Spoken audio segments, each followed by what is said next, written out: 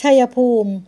จัดกิจกรรม รณรงค์เพื่อลดอุบัติเหตุ บริเวณทางข้ามหรือทางม้าลายขึ้น เพื่อความปลอดภัย ลดอุบัติเหตุและสร้างจิตสำนึก ถึงวินัยในการจราจร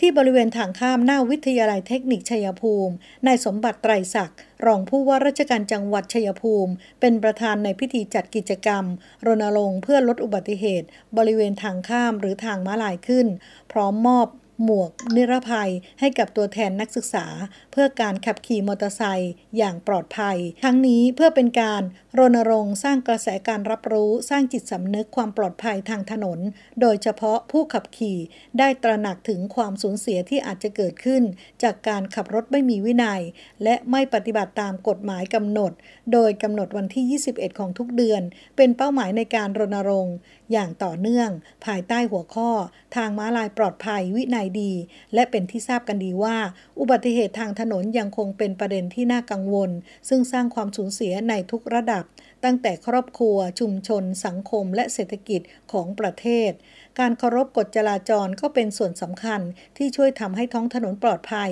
และช่วยลดอุบัติเหตุได้มากขึ้น โดยเฉพาะการให้ความสำคัญกับทางม้าลาย และผู้ร่วมใช้ถนนในจังหวัดชัยภูมิ จึงได้จัดกิจกรรมรณรงค์เพื่อลดอุบัติเหตุบริเวณทางข้ามหรือทางม้าลายขึ้น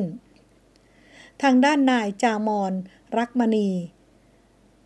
นิสิตนักศึกษาชั้น ปวช 3 จากวิทยาลัยเทคนิคจังหวัดชัยภูมิได้เล่าว่า เห็นด้วยกับทางม้าลายเป็นทางสำคัญให้คนใช้ เดินข้ามถนนอย่างปลอดภัย โดยมีกฎและข้อบังคับ ให้รถวิ่งบนท้องถนนต้องชะลอความเร็วก่อนถึงทางม้าลายและหยุดรถเพื่อให้คนข้ามถนน โดยคนข้ามก็ต้องใช้ทางม้าลายในการข้ามถนนด้วย จะช่วยลดอุบัติเหตุบนท้องถนนได้ นิว 24 สุกันวลีสุวรรณรายงาน